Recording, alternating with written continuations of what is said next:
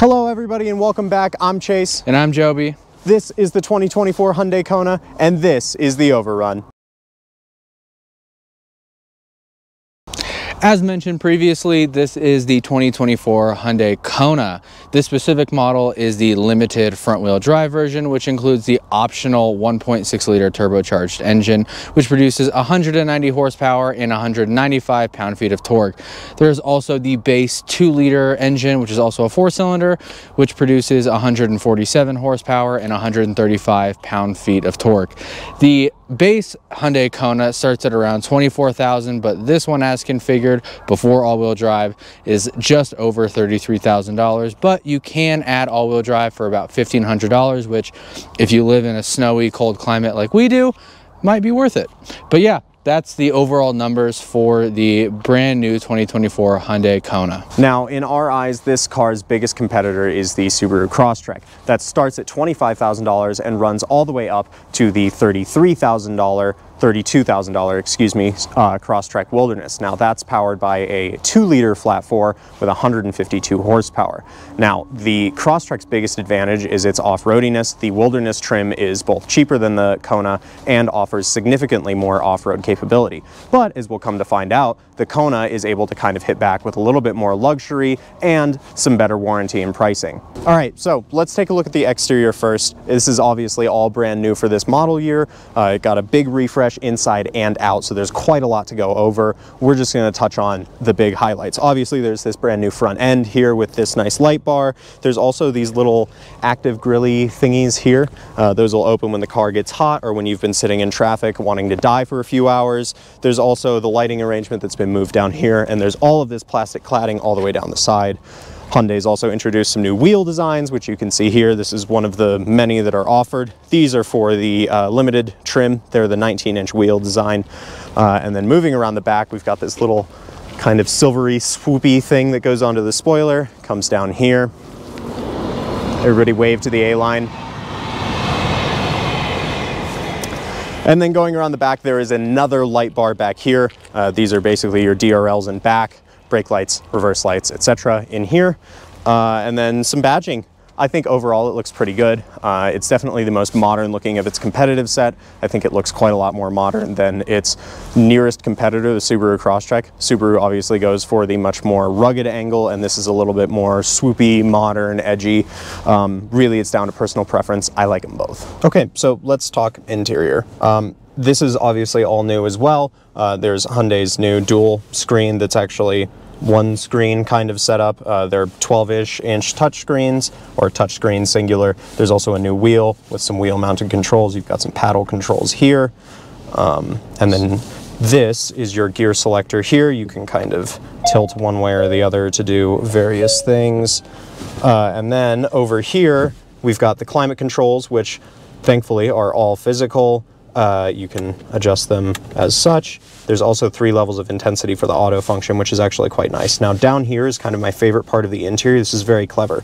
You can either switch this single USB-C port to data and charging, or push the button to just charge if you've got, say, another device that just needs to charge while you run Android Auto or CarPlay wirelessly. And then down here you've got all of your seat controls uh, for heating and ventilation, which is standard on the limited trim, as well as heated steering wheel, drive mode, auto hold, cameras, blah, blah, blah, blah, blah. Uh, I know I just said that the climate controls are my favorite part because they're physical, but really the center console is probably the most well thought out part of this interior. Uh, there's these neat, handy rotating cup holder things that you can do that with. And then this can be pulled out and removed in conjunction with this to create a totally open area down here to store some larger items like maybe a big handbag. Uh, it's very, very well thought out, certainly more so than the Crosstrek. And up here at least, it is quite a lot nicer than the comparable Subaru Crosstrek. Now let's also talk about the infotainment system, which is new for the Kona this year. Um, this is kind of Hyundai Kia Genesis's democratized infotainment system. Everybody uses it. Uh, the level of configurability that you get in the gauge cluster kind of varies. Here you can just tog- uh, to- toggle uh, through some of the different settings for uh, either your ADAS displays or your fuel economy, things like that. Uh, over here in the center screen, you can, as you see, be able to go into Android Auto. There's also a voice memo function and some other things. The screen itself is very responsive, uh, so is the map function. It's generally pretty solid. And there's also some hard backup controls down here that you can use to get to various functions. If, for example, you have Android Auto up, you can move through all of your tracks and then come back here to get to the home screen. Now we're in the rear seats of the Hyundai Kona and there's nothing too noteworthy. It's pretty basic uh, interior back here, but there are a couple of cool things. First, we have two USB-C ports right here. Um, so if you have two passengers that need to charge something here in the back of the Kona, you can do that. Um, but other than that, there's not like a ton of cargo space back here. There's actually not even a net behind the driver's seat. There is a little one right here uh, which you could throw something in if you wanted to. There are these fold down cup holders, but this can obviously just go back in if you don't need those. Um, overall, there's actually a pretty good amount of leg room. This is where I would normally sit. I'm about five nine for reference, and I still have plenty of leg room here, and the seat could actually come back quite a bit as well. In terms of headroom, Again, I got plenty. I'm 5'9". If you're taller than me, then that might vary a little bit. But in general, it's a pretty nice place to be back here, at least in terms of room.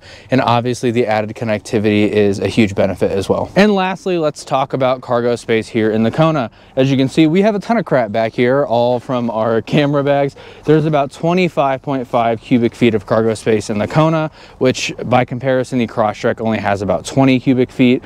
And the cool party trick of the rear is there's actually a bunch of hidden storage, which is probably meant for a spare tire, but there's not one in here.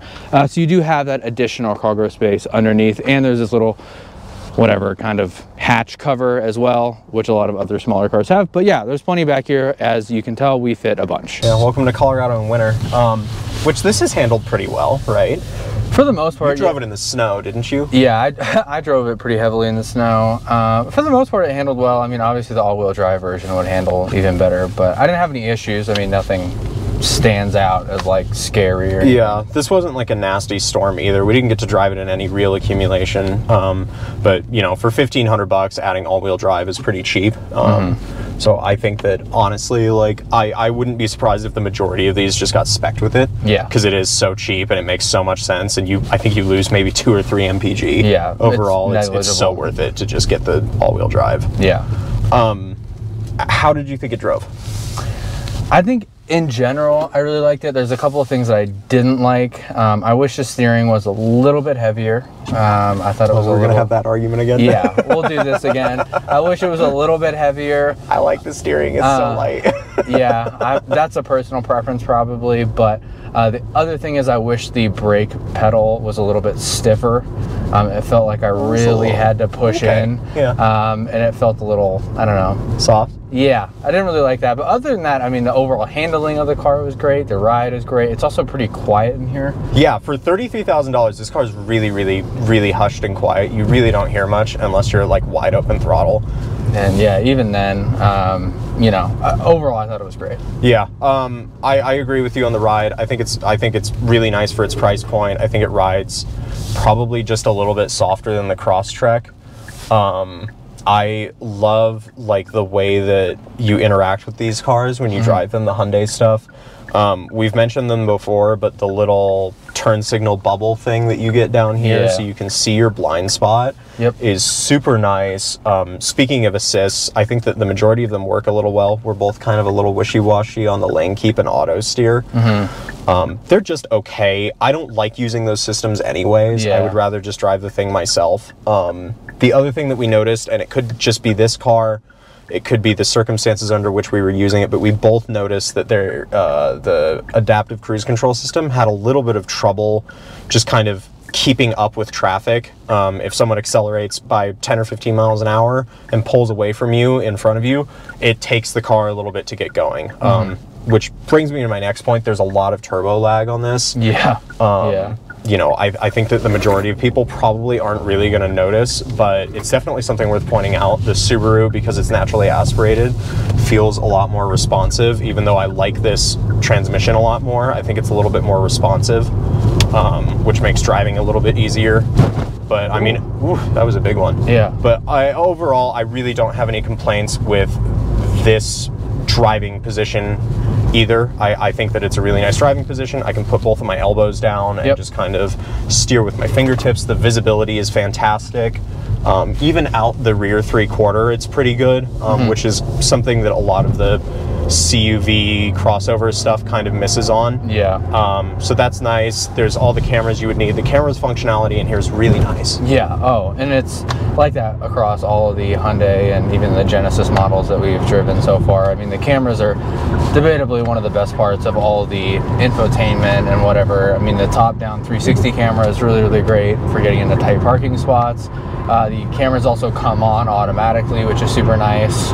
Um, so yeah, Yeah, the parking system's great too. The the like object recognition is really good. It's super accurate and it doesn't like it doesn't scream at you like some of the Toyota stuff does. If Yep. you're too close, it just lets you know. Um, I, I prefer that. Yeah. The less yelling a car does, the better. I agree. Um, yeah, it's a, it's a really great driving experience. I definitely prefer driving this on the day to day to the Crosstrek, uh, just because it is that little bit nicer. Yeah, totally. All right, now let's go ahead and wrap up our review of the 2024 Hyundai Kona. Chase, what do you think? Um, so I'm of two minds here. I think that kind of depending on the person you are, one of these two cars is going to fit you a little bit better. Um, I'm kind of in Camp Crosstrek because it is just that little bit cheaper, first of all. And second of all, the Wilderness trim, which is far and away the Crosstrek to get, offers significantly more off-road capability. I would say that this offers functionally zero. Um, these are like Kumho, whatever, AT tires, or uh, I'm sorry, all-season tires. Um, you know, the Crosstrek, you lose a little bit in terms of features and luggage capacity and gain so, so much in off-road capability. So if that matters to you, the Crosstrek is the way to go. Uh, but if you're gonna be commuting, hauling family around and not really doing a lot of outdoor stuff, I think that this is probably a little bit nicer. You get ventilated seats and some other features that the Crosstrek just straight doesn't have. Yeah, I agree. Um, I don't really have too much to add. I just wanted to say I love all the different interior features that the Kona offers, especially at the price point. Um, it is probably one of the best values in the, you know, total automotive world right now for $33,000 uh, with all that this offers uh, is pretty insane. Obviously, that's going to vary on the trim that you select, but this one is pretty incredible with all the features and value. So, Yeah, especially with the uh, modularity in the center console, um, the connectivity. Yeah. I- it's just, it's really well thought out. Yep. I- Yeah, totally, totally agree. But anyways, that is going to wrap up our review. Tell us what you think about the new fully redesigned 2024 Kona in the comments down below. If you enjoyed this video, please consider dropping a like. And if you want to see content like this in the future, please consider subscribing as well. With all that, we appreciate you watching the video and we will catch you in the next one. Bye. Bye.